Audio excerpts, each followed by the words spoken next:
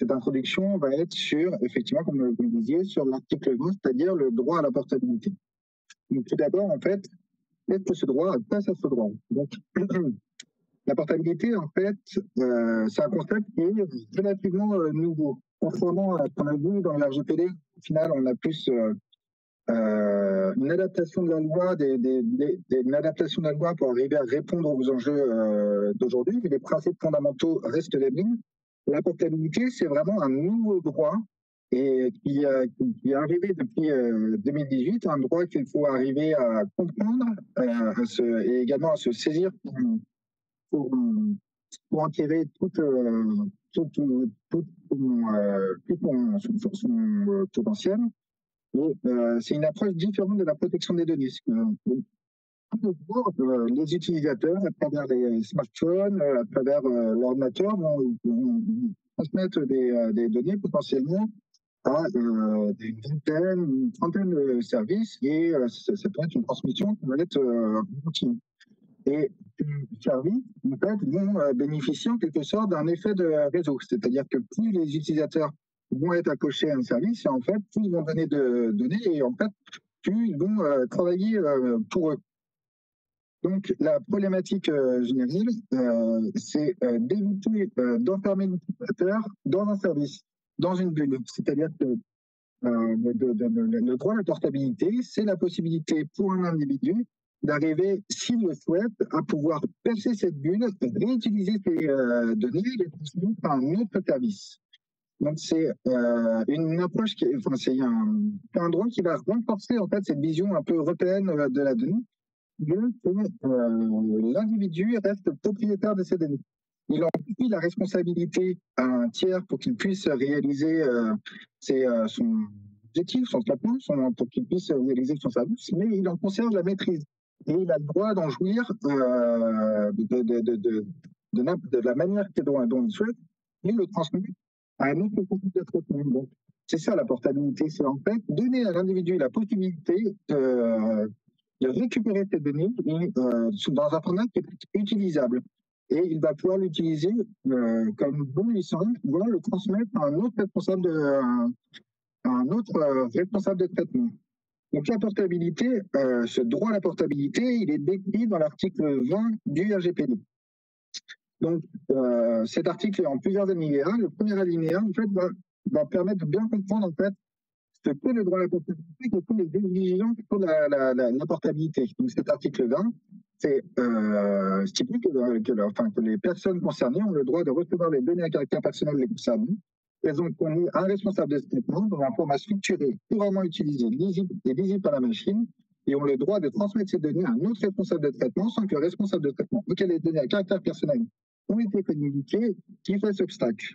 Donc, si je schématise l'article, en fait, le droit à la portabilité dans cet alinéa 1 euh, repose sur trois exigences. La première, de pouvoir recevoir les données euh, d'un responsable de traitement, des données qui le, qui le concernent depuis un responsable de traitement. Cette réception doit se faire dans un format qui va être réutilisable, qui va être réutilisable par une machine. C'est un format qui va être structuré, qui va pouvoir être utilisé par un logiciel il a le droit d'utiliser ces données pour les transmettre à un autre responsable de traitement sans que le premier euh, responsable de traitement ne puisse y faire obstacle. Donc ces obstacles, ça peut être des obstacles euh, techniques, ça peut être euh, d'utiliser un logiciel payant pour pouvoir réutiliser ces données. En fait, tous ces obstacles-là sont interdits par la loi. Donc, on l'a vu dans, ma présentation de classe de les droits vont être euh, limités en fonction de certains contextes. Donc, pour le droit à la portabilité, le tableau que je vous ai transmis euh, tout d'abord, eh bien, dans, la, présentation précédente, on a vu que le droit à la portabilité ne concernait pas toutes les données, contrairement au droit d'accès.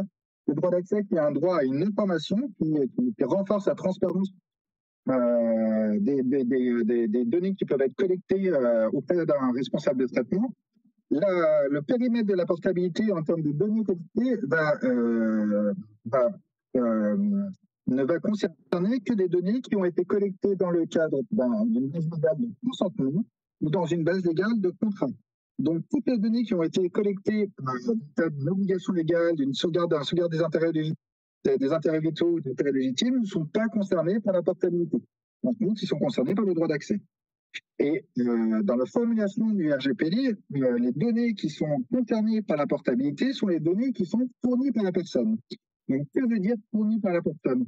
Eh bien, en fait, euh, ces données fournies, ça va être des données qui vont être déclarées activement et consciemment par la personne concernée. Donc, ça peut être des données qui vont être remplies, par exemple, dans un formulaire, dans un formulaire en ligne, une adresse électronique ou des données de paiement, de paiement. Et ça peut être aussi des données des données qui ont été générées par l'activité de la personne lorsqu'elle utilise un service ou un appareil. Par exemple, ça peut être euh, des données euh, de compteur communicant, euh, ça peut être des données d'achat, des, coordonnées GPS qui vont être transmises par les smartphones. Tout ceci est concerné par la portabilité. Néanmoins, toutes les données qui vont être générées depuis cette donnée collectée, ce qu'on appelle les données inférées, des données euh, calculées ou des données euh, dérivées ne vont pas être concernées par la portabilité. Ils seront concernés par le droit d'accès, mais ne seront pas concernés par la portabilité. Donc on voit que le périmètre de la portabilité est restreint par, euh, la loi, ce qui n'interdit plus euh, données qui ne rentrent pas dans cette dans cette bulle des données portables puissent être transmises par le responsable de traitement. C'est-à-dire que euh, c'est-à-dire qu'il n'est jamais interdit d'être médisant. Néanmoins, la loi les oblige à minima à fournir ce sous-ensemble de données dans un format qui va être portable. Qu'est-ce qu'un format portable? Eh bien, comme je le disais tout à l'heure, un format portable, c'est un format qui est structuré, communément utilisé et lié par la machine, et donc qui est interopérable. c'est-à-dire qu'on a, euh, a un, ensemble de définitions euh, de moyens et la finalité, c'est de pouvoir rendre les systèmes interopérables vis-à-vis de ce euh, format de fichier. Et donc, un format de fichier euh, qui va être, euh, ces conditions, c'est qu'en fait, le logiciel puisse lire dans ce format de, dans ce, dans ce fichier et puisse extraire ligne à ligne les données qui ont été collectées par, le responsable de traitement. c'est-à-dire que tout ce qui va être données structurées type JSON, CSV, des formats de données utilisables communément euh, utilisé, c'est bon. Par exemple, mais par contre, euh, fournir des données sous la forme, par exemple, d'une image d'IPOG, on va considérer que ça ne rentre pas dans le cadre de la portabilité parce qu'au final, on n'est pas face à un jeu de données qui doit être structuré. ensuite, en termes de format de données, ce qui est, ce qui est recommandé, c'est d'arriver à trouver des formats de données qui correspondent à un contexte d'usage donné. Donc, c'est-à-dire qu'il vaut mieux fournir des contacts sous la forme d'un PSV qui va être directement réutilisable par un logiciel, plutôt que d'utiliser un format euh, qui, va être, euh, qui va être propriétaire à l'entreprise. Euh, donc la portabilité, elle, va reposer sur le responsable de traitement, que je vais appeler le responsable de traitement, qui est détenteur des données, c'est-à-dire celui qui détient des données. Donc c'est-à-dire que lui est dans l'obligation de fournir ces données dès lors qu'elles rentrent dans le périmètre de la portabilité. Néanmoins, cela ne, fait peser aucune euh, exigence sur le responsable de traitement qui va recevoir ces données. C'est-à-dire que le responsable de traitement n'est pas tenu de maintenir un système qui est en capacité de pouvoir gérer ce jeu de données. Et donc, que devient le responsable de traitement? Lorsqu'il va recevoir ces données, qu'il souhaite utiliser ces données, il rentre dans le cadre du RGPD. C'est-à-dire que la réutilisation de ces données doit euh, être conforme aux exigences du RGPD. C'est-à-dire tout ce qu'on a dit ce matin, euh, définir une base légale, informer la personne sur les traitements qui vont être réalisés, sécuriser son système. Donc voilà. C'est-à-dire que le responsable de traitement qui va recevoir des données est en fait est considéré comme un nouveau responsable de traitement et euh, n'est pas concerné par cette portabilité en elle-même. C'est vraiment une, loi qui concerne le détenteur des données. Un autre aspect euh, très intéressant de, l'article 1 euh, est contenu dans son alinéa 2. De mémoire, je crois qu'il y en a quatre, les euh, alinéas. Donc, dans ce deuxième alinéa, est, décrit une nouvelle forme de portabilité qui va être la portabilité directe de responsable traitement à un autre responsable traitement. Et donc, cette fois-ci, en fait, selon certaines conditions, une personne peut demander à ce que ces données détenues par un responsable euh, de traitement soit directement transmis à un autre responsable de traitement pour qu'il puisse le réutiliser. Et donc, les conditions d'envoi sont, euh, cet envoi est conditionné au caractère techniquement possible de cet envoi. C'est-à-dire que dans certaines conditions, euh, il est techniquement impossible de pouvoir réaliser un transfert direct. Euh, donc, l'objectif de, cette, euh, de, de, ce transfert direct, c'est de simplifier en fait la, réutilisation de, ces données d'un responsable de traitement à un autre. Et donc, grâce à ce type de portabilité euh, directe, on voit euh, cela peut favoriser la, mise en place de services qui vont être complémentaires. Donc, la possibilité de créer des liens d'un service à un autre. C'est-à-dire qu'un, par exemple, un, service de, streaming musical peut se baser sur sa liste, la liste d'achat d'une personne depuis un site de e-commerce pour euh, connaître ses centres d'intérêt, pour connaître ses euh, goûts musicaux. Euh, une suite, une banque en ligne, par exemple, peut réutiliser des, des un site de e-commerce peut réutiliser des informations d'achat depuis une, une, banque en ligne pour, pour par exemple, proposer des nouveaux services. Et donc tout ça est conditionné un peu au techniquement possible qu'est-ce qui est techniquement possible, qu'est-ce qui, n'est pas techniquement possible? Donc, une question qui reste à ce stade encore ouverte. Ce qu'il faut voir, en fait, euh, derrière le droit d'accès, c'est qu'en fait, derrière ce, droit à la, portabilité, c'est que c'est euh, un droit qui, euh, dont l'exercice va être, en pratique, va être interprété comme un exercice de droit normal, droit, un exercice de droit normal, et pourtant, en fait, cet exercice de droit, comme n'importe quel droit, comme le droit d'accès, on voit qu'il est peu adapté à, euh, au contexte d'usage de la portabilité. Prenons cet exemple pratique. je suis un utilisateur, je veux utiliser mes données sur un autre service.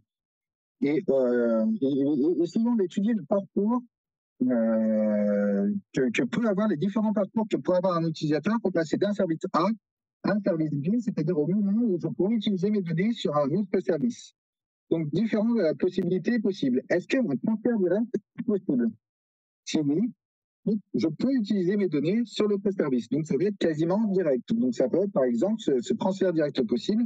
Ça peut être dans un environnement identifié, avoir un bouton qui propose directement d'envoyer mes données euh, vers un autre service. Ou à l'inverse, en prenant le service B, avoir un bouton qui permet de pouvoir importer des, données depuis un autre service. Donc ça, c'est le cas, je dirais, idéal.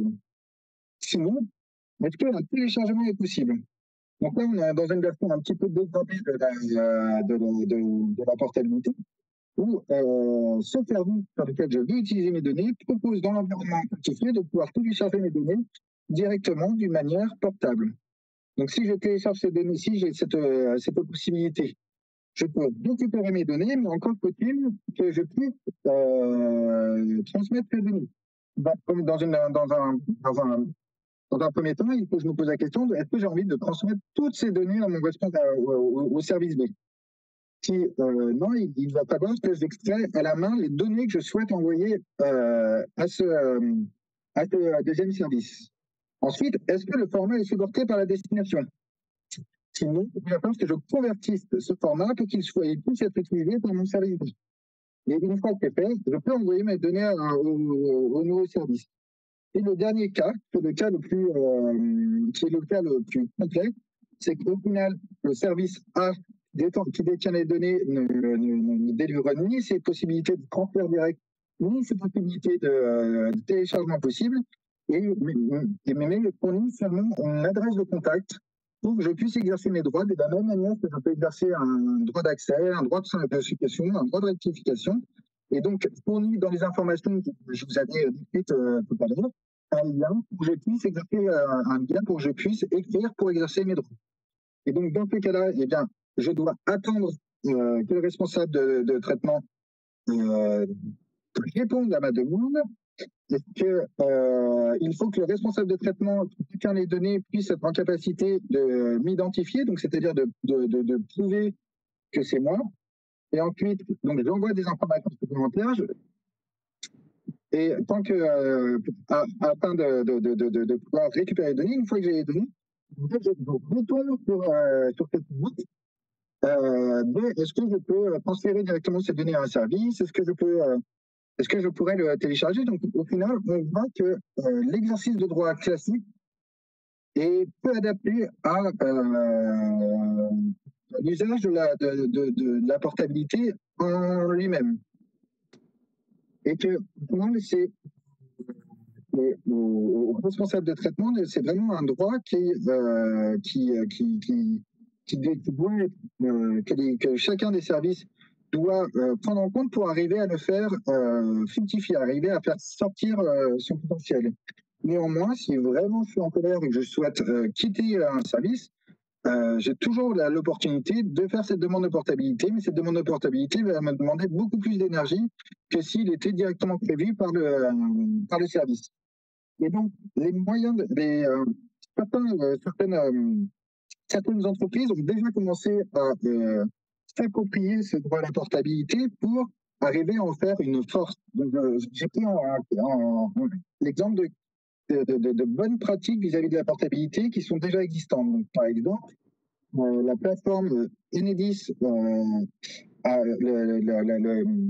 l'entreprise Enedis a mis en place une plateforme directement de postabilité qui permet d'accueillir les services tiers et de garantir euh, que la, collecte a bien été a bien été le, consentement a bien été recueilli, que la collecte se déroule bien dans un cadre qui est respectueux euh, de leurs clients et ils ont euh, transformé en fait cette obligation de la portabilité en un générateur de services ajoutés.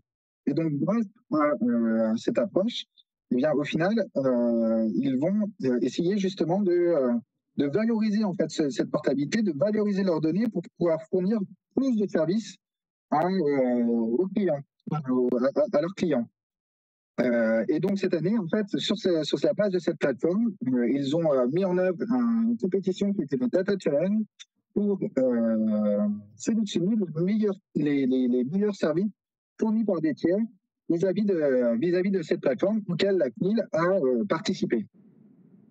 Un, deuxième exemple de, de, de, deuxième possibilité pour pouvoir aider la, de mettre en œuvre la portabilité, concerne le Data Transfer Project. C'est un projet qui a été initié en 2018 dès l'application du RGPD par le Data Liberation Front, qui était déjà l'origine de la plateforme TK, qui permettait déjà d'extraire les données depuis l'ensemble de ces services Google.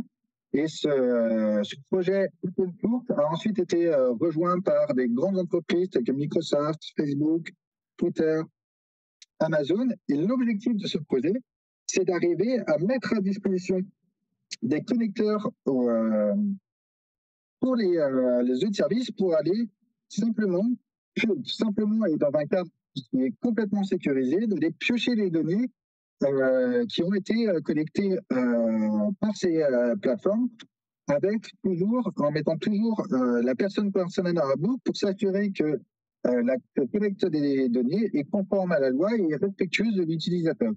Et donc, si ce Data Transfer Project euh, fournit un ensemble de méthodes d'authentification euh, sécurisées, euh, un ensemble de connecteurs vers leur service qui vont euh, simplifier le portage d'un service à un autre. Donc, c'est un premier élément de réponse. Euh, c'est un premier élément de réponse pour simplifier la mise en œuvre de cette euh, portabilité. Néanmoins, ces deux techniques, donc l'approche de l'UNIDIS et l'approche du Data Transfer Project, ne peut fonctionner que si le service le détenteur de ces données est en quelque sorte euh, est, mis à la même et, et, dans une volonté de pouvoir euh, rendre, de, de, pouvoir simplifier euh, l'exercice de ce droit pour les utilisateurs. Mais d'une manière générale, euh, une approche qui, qui, va permettre de pouvoir masquer la complexité un peu de, de, tout ce, de, de, toutes ces démarches qui peuvent être lourdes en termes de, passage d'un service 1 à un service 2. Euh, une des solutions les plus, euh, les plus naturelles, c'est euh, le, le, le, fait de passer par ce qu'on appelle des Personal Information Management, des entreprises françaises dont OneCup est présent aujourd'hui, qui vont mettre en œuvre un certain nombre de connecteurs qui vont mettre à disposition un certain nombre de connecteurs euh, et euh, des espaces sécurisés pour, la, euh, pour, pour, conserver ces données. Et il faut comprendre que le RGPD donne la possibilité de pouvoir mandater un tiers pour exercer un droit à sa place. Et au final, ces entreprises-là sont parfaitement adaptées pour une bonne mise en œuvre de la portabilité parce qu'elles elles, développent une, sorte d'expérience de, différentes technologies qui vont simplifier, qui vont simplifier le passage d'un service A à un service B. Et donc, ces entreprises, vous pouvez délivrer euh, un mandat à cette entreprise pour exercer votre euh, droit, exercer ce droit, exercer ce droit de votre classe et euh, mettre en œuvre toute la machinerie et la mécanique qui peut être complexe pour pouvoir générer, pour pouvoir faire exprimer tout le potentiel des données qui ont été collectées pour, pour ces services pour créer des, des, des fonctionnalités additionnelles vis-à-vis tout ça. Et donc, cette question de mandat dans le cadre de la portabilité, elle est assez structurante. C'est-à-dire que c'est l'usage d'un mandat nécessite de s'assurer de que, la personne concernée a bien été, c'est bien la volonté de la personne concernée de mandater cette entreprise pour euh, pouvoir exercer ce droit à sa place, euh, de, pouvoir cadrer aussi d'un point de vue sécurité les transferts d'un point A à un point B. Et dans ce cadre-là, la CNIL a euh, délivré, a, mis en, a, écrit un projet de recommandation pour encadrer cet exercice de droit par l'intermédiaire des mandats et a ouvert une consultation publique. donc elle est actuellement ouverte et elle sera terminée le 6 janvier avec euh, dans l'objectif de fournir une nouvelle recommandation qui va permettre de pouvoir euh, encadrer euh, ces relations de service à mandataire pour pouvoir, ben, pouvoir faire peu de pour créer des nouveaux services et pour pouvoir profiter, profiter un maximum de cette opportunité qui, qui est offerte par le RGPD.